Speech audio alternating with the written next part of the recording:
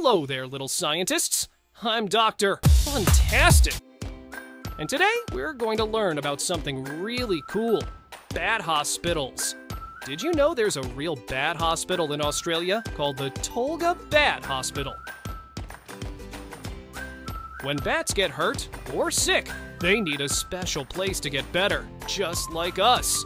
That's where bat hospitals, like the one in Australia, come in. Let's explore how we help these amazing little creatures.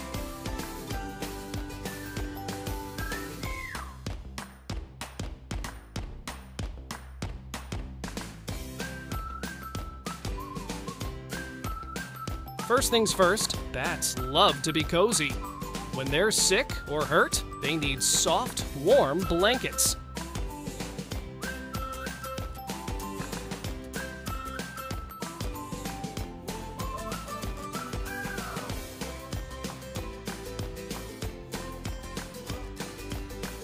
Look at this little bat. Isn't he adorable all wrapped up?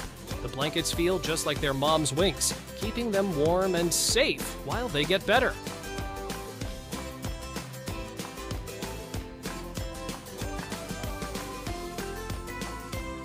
Wow! Who knew bats loved snuggling, right? Even superheroes need naps. When bats are babies or too weak to find their own food, they drink milk just like human babies.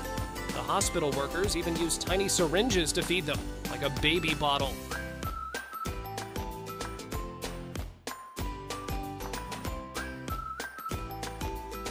As they grow, guess what their favorite food is?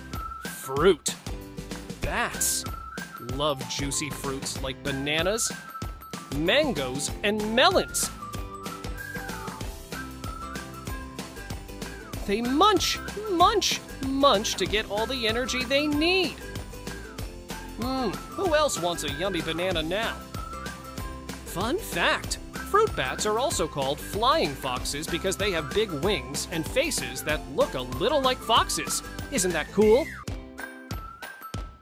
When bats eat fruit, they chew it up and eat all the yummy parts. But here's something funny they spit out the parts they don't want. The bits they spit out are called spat. And guess what? When they spit out seeds, it helps plants grow. Bats are like nature's little gardeners.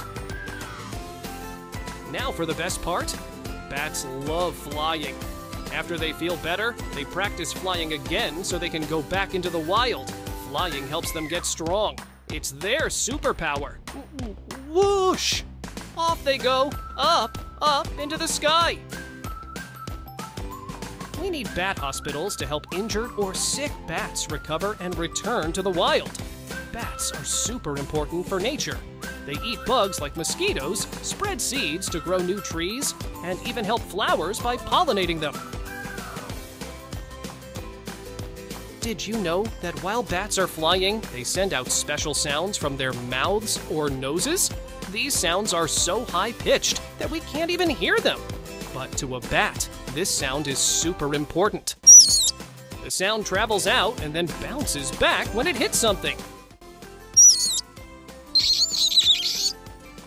This way, bats can tell exactly how far away things are and even how big they are.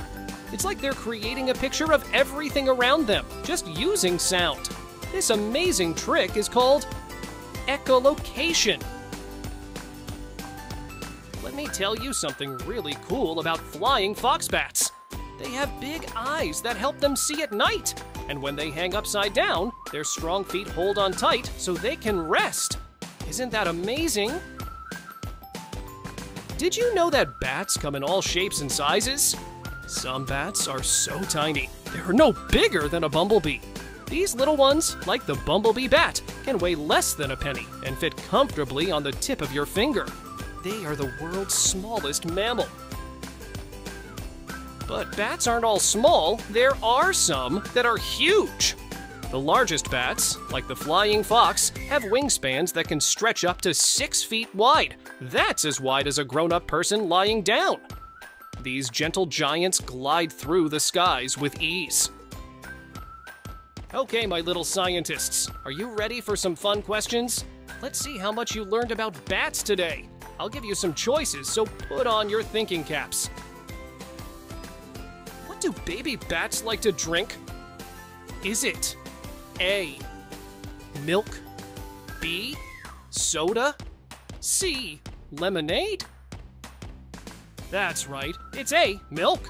Just like human babies, baby bats need milk to grow big and strong.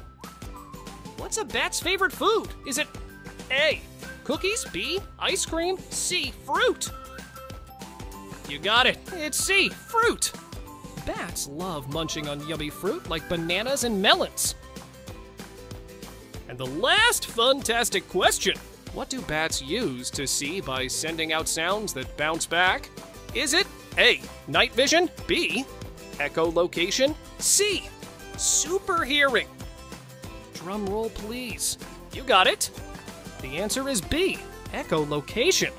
That's the amazing trick bats use to Z with sound. You all did such an amazing job today learning about bats. Now you know how bat hospitals help our batty friends. Remember, bats are super cool and very important for nature. Keep exploring, keep learning, and stay curious, little scientists. See you next time for more fun adventures.